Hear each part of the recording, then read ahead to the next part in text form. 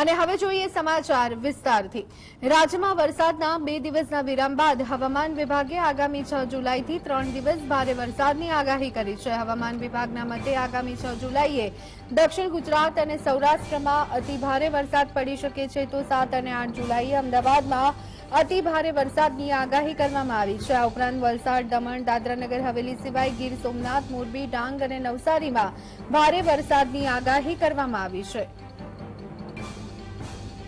और छह तारीख से विभिन्न हेवी रेनफॉल भी शुरू होने का संभावना है साउथ गुजरात में और कोस्टल सौराष्ट्र में हेवी रेनफॉल हो सकती है सात तारीख आठ तारीख में ज्यादा बारिश होने का संभावना है पूरे गुजरात को बारिश मिलेगी सौराष्ट्र कच्छ को भी बारिश मिलेगी लाइट टू मॉडरेट रेन का रहेगा रहेगा मोस्ट प्लेसेस में लेकिन heavy to very heavy extremely અમદાવાદમાં ભૂવા કે પછી ભૂવામાં અમદાવાદ રોજ ને રોજ કોઈ રસ્તા પર ભૂવો જોવા મળે. ચોમાસામાં તો અમદાવાદીઓને વર્ષોની આદત છે. મક્તમપુરા વોર્ડમાં બાર કલાકના ગાળામાં બે જગ્યાએ ભૂવા પડ્યાના સમાચાર.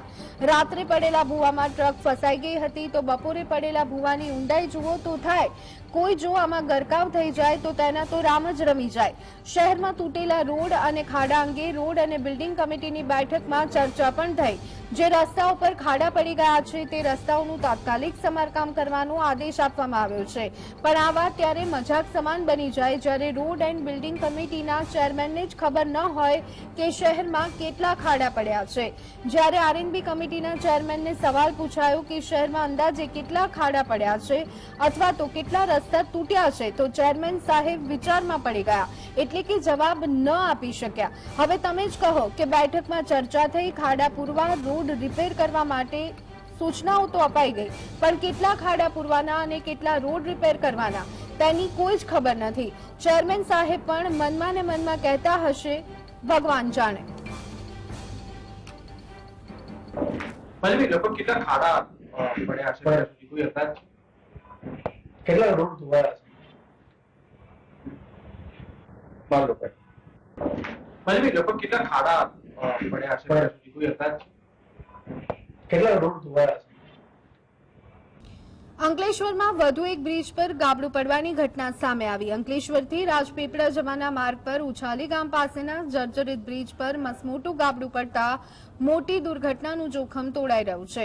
જૂના જર્જરિત બ્રિજની બાજુમાં નવો બ્રિજ બની રહ્યો છે, જો કે નવા બ્રિજનું કામ અત્યંત ધીમી ગતિએ ચાલતા વાહન ચાલકો રાજપીપળાથી અંકલેશ્વર અવરજવર માટે આ જોખમી બ્રિજનો ઉપયોગ કરી રહ્યા છે. મહત્વનું છે કે જોખમી બ્રિજ પરથી ભારે અને હલકા વાહનો સતત પસાર થઈ રહ્યા હોય ત્યારે દુર્ઘટના સર્જાય તે પહેલા તંત્ર દ્વારા તાકીદે પગલાં લેવાય તે જરૂરી બન્યું છે.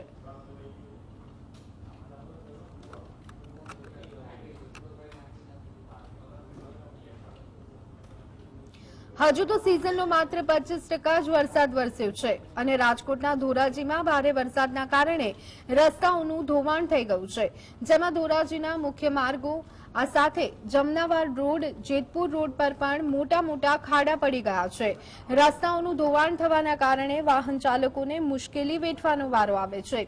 રસ્તા પર પડેલા ખાડાઓમાં વરસાદી પાણી ભરાઈ જતા વાહન ચાલકોમાં અકસ્માતનો ભય પણ જોવા મળી રહ્યો છે.